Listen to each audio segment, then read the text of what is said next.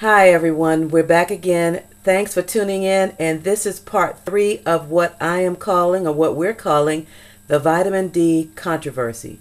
Now, take a look at this for a moment. Let me just, before I go into what I really want to say, let me just back up by saying that I've been doing my research. I've been reading not just one particular site, but just the different sites as to how these decisions came about, as to what this is really about. And again, in order to kind of understand this fully, I would recommend that you go at part one. The parts are not very lengthy. And you will see my personal testimony before this so called study and finding came out as to why the 600 IUs of vitamin D did not work and does not work for me personally.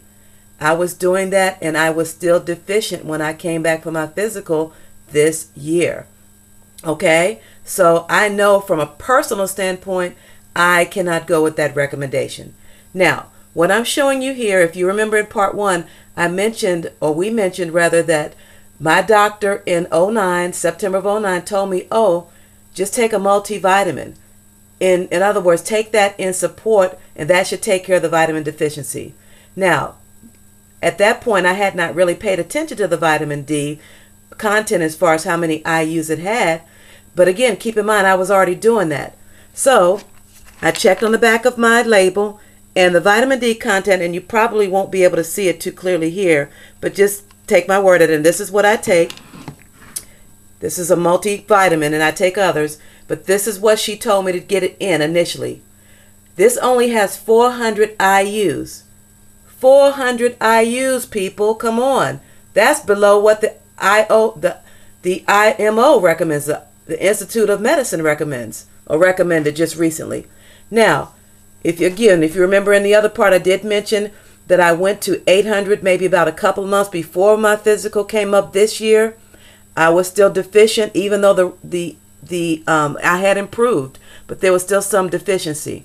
Now, a couple of months ago, maybe in early November, I got this. This one has, you can see this one better. You can see that this one has the 1,000 IUs, and this is vitamin D3, not just a vitamin D.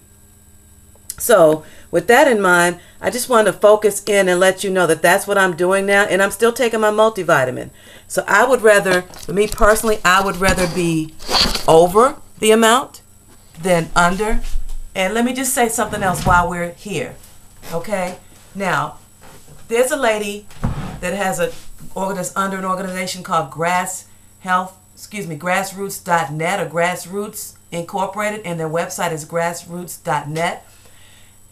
After their organization did some investigations, they found out that the people on this so-called committee that made these so-called quote decisions, you know, they aren't even medical doctors. You know, we have to look at this people. This is a serious issue because if we just settle for this and the American public or people that are concerned about their vitamin health and their health overall, if they don't investigate this for themselves, they'll just, like most people, just go with the flow, just read anything and believe anything, and then, you know, we're going to have some serious health issues.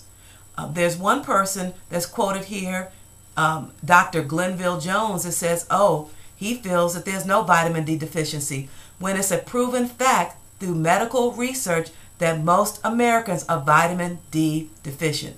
Unless you live on the far extreme west coast, which I don't, or unless you live very south like Georgia, Florida, so forth and so on, even some of the islands, you ain't going to get it. Excuse my English, but it ain't going to happen. So ladies and gentlemen, I encourage you, we're going to still provide those links again and additional links in this part. Please look into this matter. Please, on the Alliance of Natural Health, they have a, a link where you can, and they do it all for you, where if you put in your plug in your name and address and your email address, they will forward a standard note and you can add on to it to your congressperson opposing this situation. Now, I'm not all into politics and all that, but to me, this is serious when it comes down to the health, my health personally, and the health of Americans overall. So, again, we need you to make your comments. If you have any more insights, any more information that we can research, please leave it on the comment screen at LiveWell TV.